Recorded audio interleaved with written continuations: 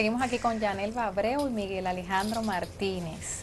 Eh, chicos, estamos eh, también hablando de otros temas que tienen que ver con la prevención de desastres naturales, pero hay muchas cosas que circundan este, este tópico.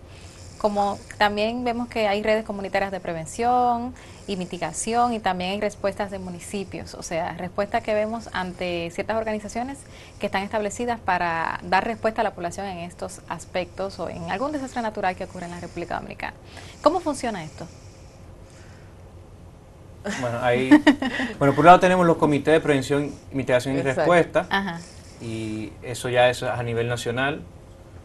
Debe haber, según la ley 147-2002 de, de, gestión de riesgos, que debe haber un comité de prevención y mitigación de respuesta por cada provincia y por cada municipio. Quien lo encabeza, en el caso de la provincia, el gobernador, y en el caso de los municipios, el alcalde, de la mano con, con el director de la defensa civil. Entonces, los comités de prevención y mitigación y respuesta, eh, como decía, como estaba contando Janel ahorita, eh, son los que tienen la responsabilidad de todo el tema de gestión de riesgo a nivel provincial y a nivel municipal. Está conformado por la Defensa Civil, las autoridades de Policía Nacional y demás. Educación, salud pública. Ministerio de Educación, Ministerio de la Mujer, CONADIS, CONANI, Defensa Civil, el Ayuntamiento, es muy importante, el Ministerio de Obras Públicas, la Cruz Roja, eh, Salud Pública de tal manera que estén articulados para prevenir, mitigar y dar respuesta a, digamos, a cualquier desastre. ¿Y cómo ustedes ven la respuesta de esas instituciones ante los desastres ocurridos en la República Dominicana en los últimos años o, toda la vida? ¿Cómo ustedes, como organizaciones que evalúan y que trabajan en estos también tipos de tópicos, ven las respuestas que nos dan estas autoridades a nosotros? Bueno, realmente San Cristóbal eh, se hizo hace dos semanas o tres una, digamos, confirmación del comité y de su responsabilidad y todos estuvieron, bueno, bien enfocados en que sí, en que sí iban a trabajar y, a estar unidos para poder dar una mejor eh, respuesta cuando haya algo, pero muy importante que van a tratar de hacer prevención. Entonces, en algunos lugares sí funciona muy bien, en otros no funciona tan bien, pero en la mayor parte de los lugares está establecido. Lo que falta es, en algunos casos, como que sí se reúnen, que sí hagan actividades de prevención. ¿Cómo entra entonces el consorcio en ese aspecto? Bueno, con talleres, tuvimos un taller de ocho domingos con, o de ocho fines de semana con, con todos los representantes de cada una de las organizaciones fortaleciendo, digamos, sus conocimientos y, articulando sus capacidades. Cosas tan simples, por ejemplo, como un camión. O sea, se necesita un camión en una comunidad. ¿Quién la defensa civil, la defensa civil no lo tiene, pero, pero ¿quién tiene? Muchas veces, por el conocimiento de qué organización tiene el camión para dar respuesta a una situación en una comunidad, eh, muchas veces eh, se pierde una vida o, o, pasan, o el desastre, digamos, puede ser, puede ser peor. Entonces, que estén articulados y que tengan conocimiento eh, digamos, de gestión de riesgo y también conocimiento de, los insumos que tienen a mano, o sea, aporta muchísimo a la... ¿Y cómo también implica el lugar donde están ubicadas estas poblaciones? Porque Cambita y, esos lugares de San Cristóbal eh, muchas veces hasta han resultado inaccesibles para ciertos vehículos o personas en algunos desastres naturales. Es, es, parte del, de lo que el Comité de Prevención y Mitigación y Respuesta tiene, tiene que saber. O sea, la ruta de evacuación y, y estar previamente informado de todo eso para cuando pase el evento o en caso de que el evento, digamos, impacte la zona, ya ellos estar preparados para dar respuesta. Y tengan un plan para poder responder, porque son cosas que, que pasan cada temporada ciclónica, vemos dónde se inunda, vemos dónde hay una necesidad, entonces es para que previamente preparen cómo van a responder ante eso. Y ahora que tú mencionas que pasa en cada temporada ciclónica, hay más nuestro país, que es un país tropical y está en, exactamente en el punto de las temporadas ciclónicas. Hablando de planes, tenemos planes en la República Dominicana. ¿Realmente hay planes de catástrofes naturales, de prevención de desastres? ¿Tenemos? Sí, sí, mira, aquí hay planes de gestión de riesgo a nivel nacional, nivel provincial y todo. De hecho, en las escuelas eh, tienen que tener plan de gestión de riesgo también. Y, de hecho el consorcio está trabajando en otro proyecto que es para eh, diagnóstico de la situación de, ante amenazas eh, y vulnerabilidades de desastres.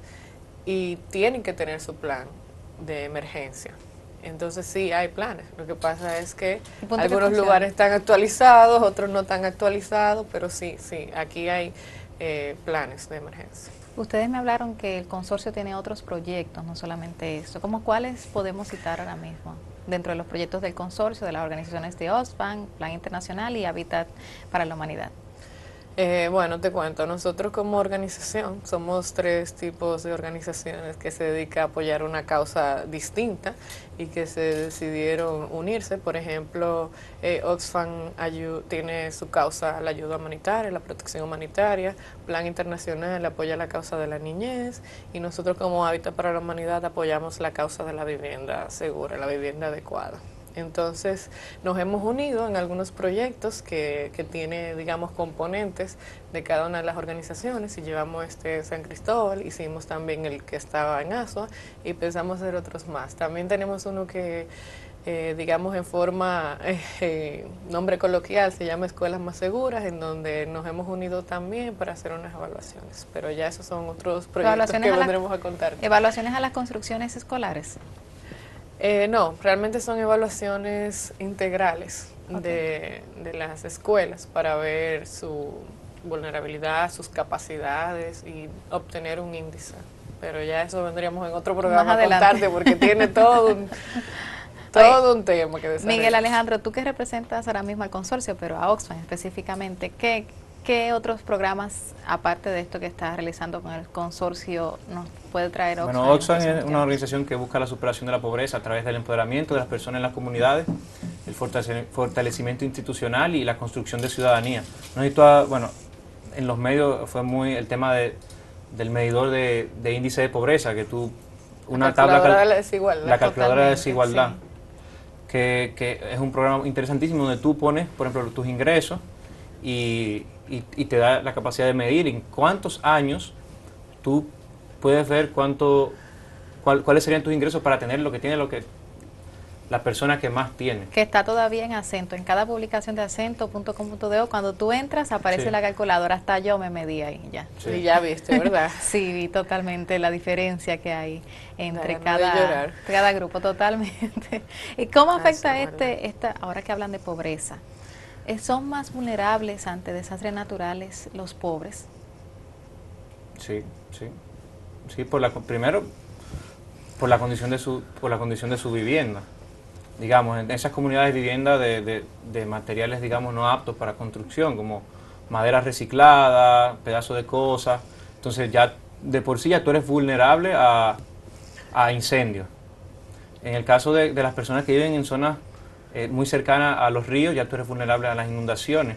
Y las personas que viven en índice de pobreza o que tienen, que tienen la, digamos, los recursos limitados, o sea, o sea la, socialmente están obligados a, o sea, son empujados a vivir en situaciones como esa.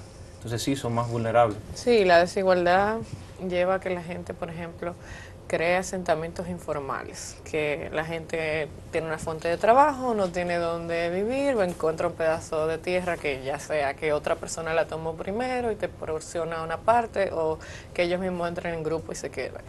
Como van construyendo su casa, es digamos, como dicen aquí, por pedazos. Quiere decir que utilizan cualquier tipo de material y construyen con cualquier sistema constructivo y muchas veces inclusive sin ni siquiera una ayuda técnica a nivel informal como un maestro constructor, ni se diga de un arquitecto, un ingeniero que le ayuda a hacer su vivienda.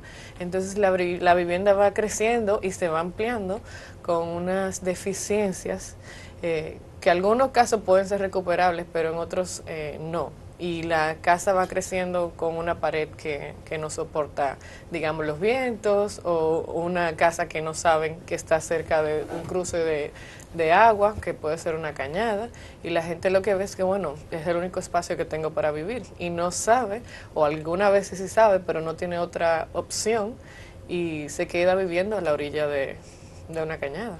Que ahí entra justo lo que estábamos hablando en las últimas semanas, que es el déficit habitacional que hay en la República Dominicana, que es casi de 2 millones. Eh, eh, está el déficit. Uno de los, de los componentes del, proyecto es eh, fue la capacitación de 125 maestros constructores en estos temas, o sea, que sean sensibles a, la, a la importancia de la, de la calidad de la vivienda y también el programa PASA, que es la sensibilización de la vivienda segura, que va de la mano con los maestros constructores y con, con las redes comunitarias. Y, y, se han hecho, digamos, recorridos por todas las comunidades con, personas de las redes y personas de la comunidad, sensibilizándolo de la importancia, digamos, y sensibilizando de la, de la calidad de su vivienda. ¿Cuáles viviendas son vulnerables a, a incendios?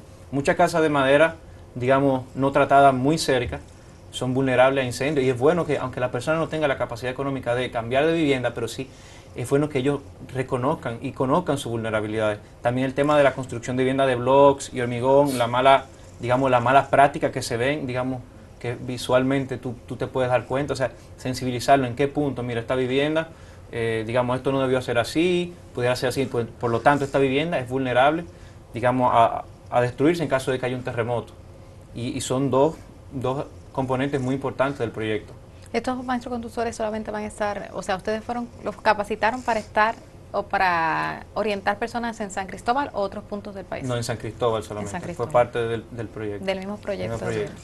Eh, ahora justamente que estamos hablando del déficit eh, habitacional en la República Dominicana, el gobierno eh, ha implementado proyectos habitacionales. Está la Barquita, eh, también la ciudad Juan Bosch, que prontamente supues, se va a poner en ejecución. Todavía está en construcción. Pero ¿qué piensan ustedes de la ciudad Barquita y ese cambio de vida de personas que vivían a orillas del río y ahora van a estar en otro lugar?